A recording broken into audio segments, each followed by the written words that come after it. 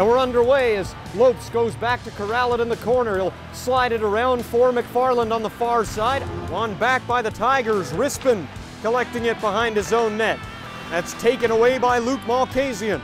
Malkasian winding forward towards the net. Back at try, scores! All rise, Malkasian Nation! And what a great sensation it was on the senior circuit. Luke's got two goals in two games. 17th of the year, and the Toronto Junior Canadiens are going to take a 1-0 lead. Soros back around, played back towards the line for Taylor. Now Luke Malkasian with it. Down at the side, Feldberg. Feldberg will wind it back towards the top. One-time drive, Carafile poked at the side. Chris Soros taps it home. Big drive by Carafile, but please recite the chorus it's a goal for Christopher Soros, his 16th of the year. The Canadiens have a two spot on the board. We'll see what the Tigers' response is.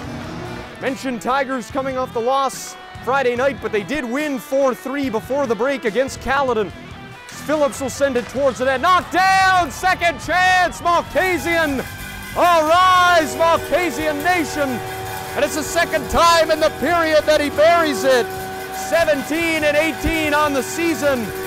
And Luke's got a pair. It's a field goal on the board. Three, nothing Canadiens.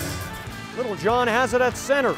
Looking to re-enter the line is Collins. Walking in Oledich, backhand try, pad stop, rebound, they score. Joby Pearson right on the rebound after the shot by Oledich, kicked out by Branton. Big rebound there, and the Aurora forward puts it in, his second goal of the game and it's tapped back. Regrouping in their own zone as Fournette gets taken down. Van Wheely, Carafile walking in. 100 mile Carafile in style slides it home. Canadiens restore the three goal lead. 4-1 the score. Win possession off the draw. Taylor back at the line for Luke Malkasian. Winding in across, one-time drive, and they score! Oh, what a shot! Carafile on the one-timer.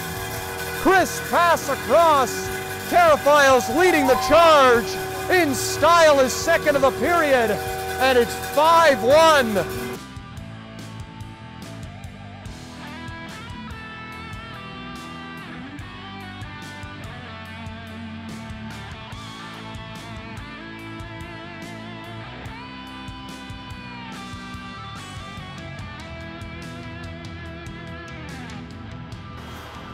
Wu colliding there with Feldberg. Taking possession now is Oldenhoff. In with a shot in the bread basket of Branton. And now got some rough stuff after the whistle.